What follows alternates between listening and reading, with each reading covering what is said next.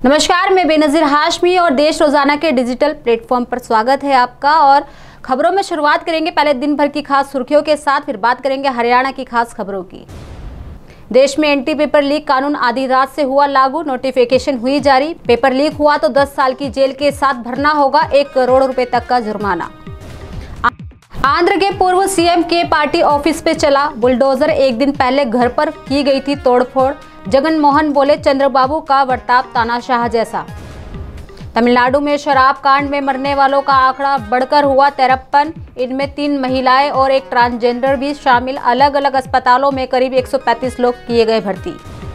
बिहार के सिवान में गंदक नहर पर बना ब्रिज गिरा। पिलर के धसने से ढह गया 30 फीट लंबा पुल। वही पाँच दिन पहले अररिया में टूटा था ब्रिज। रामलला के प्राण प्रतिष्ठा करने वाले लक्ष्मीकांत दीक्षित का हुआ निधन। वाराणसी में चल रहा था इलाज। मणिकर्णिका घाट पर दहा हुआ संस्कार। नीट पेपर लीक मामले में हुआ बड़ा एक्शन। प्रिंट आउट निकालने वाला आरोपी पिंटू झारखंड के देवघर से किया गया गिरफ़्तार। बात करें सोने चांदी के भाव की तो सोना आठ सौ सत्तर रुपए गिर कर बहत्तर हज़ार तीन सौ अस्सी पर आया। तो चांदी भी दो हज़ार रुपये की गिरावट के साथ एक किलो चांदी बयानवे हज़ार रुपये किलो पर आई। तो ये थी दिन भर की कुछ ताज़ा सुर्खियाँ। बात करते हैं हरियाणा की खास खबरों की। विधानसभा चुनाव से पहले हरियाणा सरकार ने लोगों को राहत देना शुरू कर दी है। दरअसल राज्य सरकार ने हरियाणा नगरपालिका क्षेत्र से बाहर चार शहरों में बसी इक्यानवे अवैध कॉलोनियों को नियमित करने की मंजूरी दे दी है।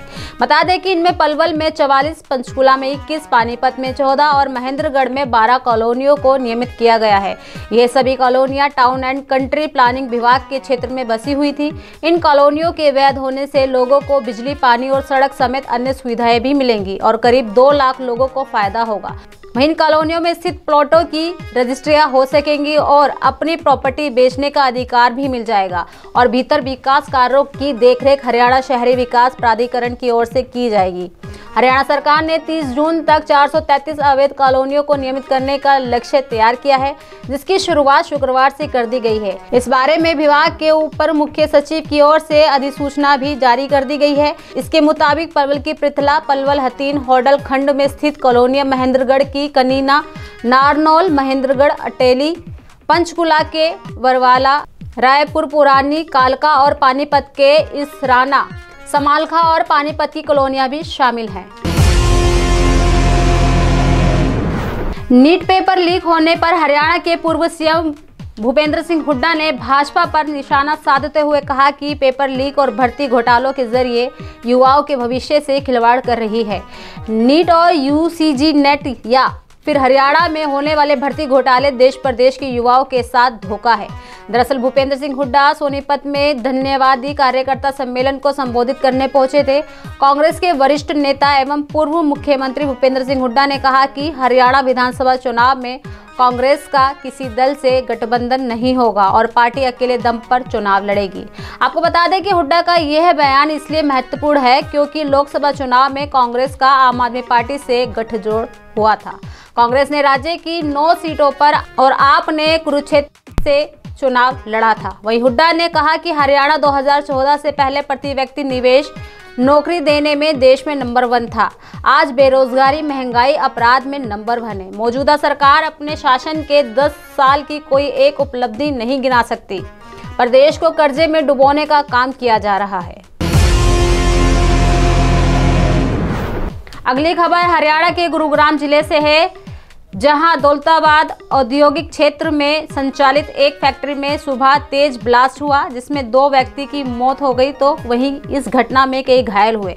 आपको बता दें कि फायरबॉल बनाने की फैक्ट्री में धमाका हुआ था। वही कई श्रमिकों के अभी भी मलबे में दबे होने की बात कही जा रही है, जिसको निकालने का एनडीआरएफ की टीम के द्वारा रेस्क्यू किया जा रहा है।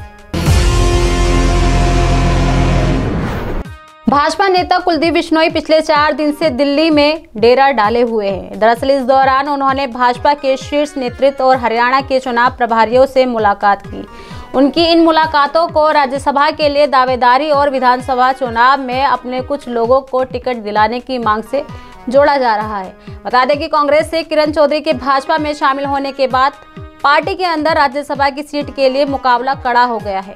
आपको ये भी बता दें कि कुलदीप बिश्नोई ने पत्नी रेणुका बिश्नोई के साथ 17 जून को केंद्रीय गृह मंत्री अमित शाह से मुलाकात भी की थी।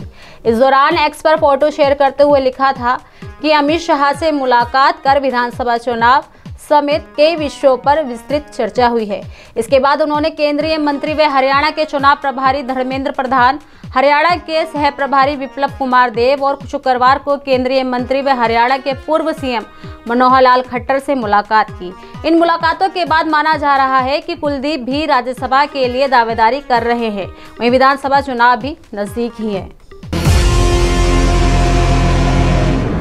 हरियाणा लोकसभा से कांग्रेस सांसद जयप्रकाश ने भाजपा की ओर से किरण चौधरी को बंसीलाल की वारिस बताए जाने पर शुक्रवार को विवादित बयान दिया है। दरअसल उन्होंने कहा कि हमारा देश पुरुष चलाता है जब उनके बेटे चौधरी रणवीर सिंह जी और पोता अनिरुद्ध चौधरी हैं। तो बंसीलाल की विरासत रणवीर महेंद्र और फिर उनके बेटे की है। आपको बता दें कि जेपी ने महिलाओं को लेकर ये विवादित बयान ओचाना के एक धर्मशाला में आयोजित धन्यवाद कार्यक्रम में कार्यकर्ताओं को संबोधित करते हुए दिया है। साथ ही जेपी ने कहा कि जिन नेताओं ने विश्वासघात किया है, यदि वे पहले ही पार्टी छोड़कर चले जाते तो कांग्रेस ज़्यादा सीटों से जीत सकती थी। कांग्रेस में रहते हुए कुछ लोगों ने उसको हराने की कोशिश की है, लेकिन जनता के समर्थन के कारण वे सफल नहीं हो सके।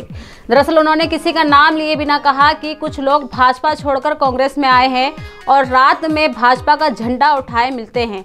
उन्होंने ये भी कहा कि नीट से लेकर ग्रुप डी की परीक्षाओं में ही गड़बड़ी नहीं है, बल्कि भाजपा में पूरी तरह से ही गड़बड़ी है।